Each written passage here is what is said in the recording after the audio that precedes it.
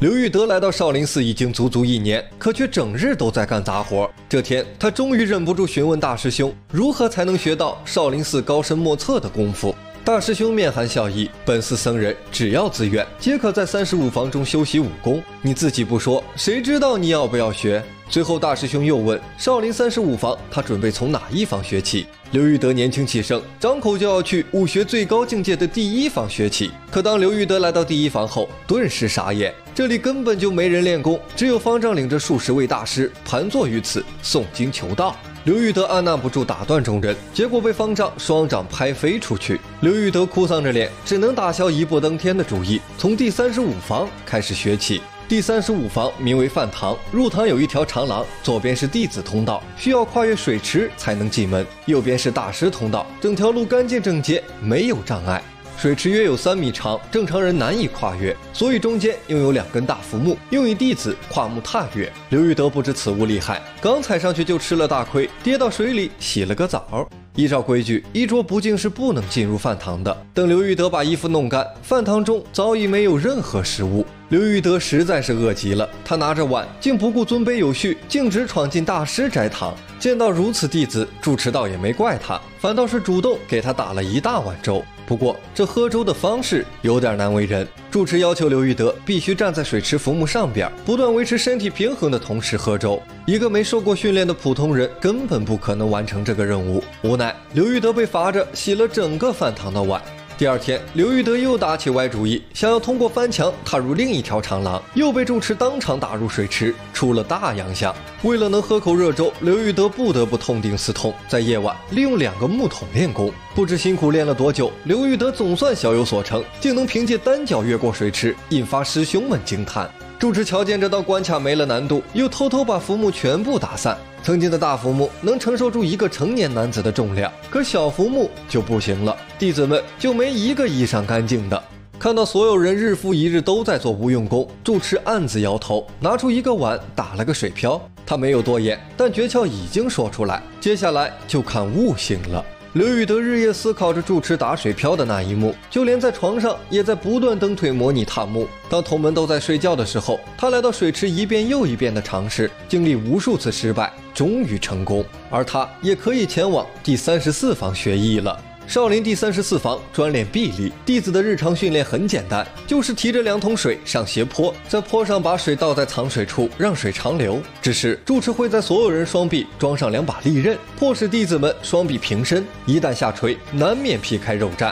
刘玉德天资聪颖，毅力更是远胜常人，短短数月就已经把臂力练成。刘玉德来到第三十三房，这一房主练腕力。每当住持敲击一下木鱼，刘玉德就要拿铁锤去撞一下钟。说着简单，可真操作起来却又极其折磨。铁锤虽然只有十斤重，可套在一丈二的竹竿上，竿长一尺，铁锤重十斤，竹竿长一丈二，已经足有一百二十斤。以刘玉德目前的腕力，只能拿到八尺范围。刘玉德扎稳脚步，刚敲了几下，右手就已然发软无力，只能重换左手继续。如此训练，又是数。月，刘玉德腕力大有长进。住持有意考核，敲木鱼速度大大加快，刘玉德却依然能跟上节奏，这意味他已经出师。少林寺第三十二房专门练木，住持让刘玉德站在两根正烧着的大香旁边。他告诉刘玉德，当这根蜡烛转动，他的目光也需要跟随烛光走，但千万要记住，脑袋不能跟着眼珠转，否则。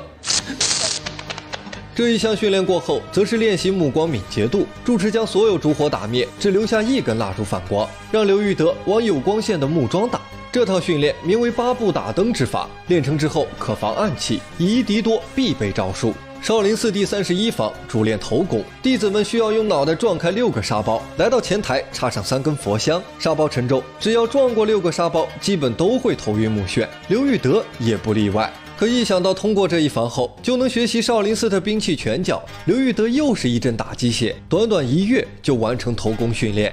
基础功练好之后，拳脚兵器等房就是主靠悟性了。刘玉德天纵奇才，又勤勉刻苦，不消数月就尽数掌控，还能跟棍房住持打得有来有回。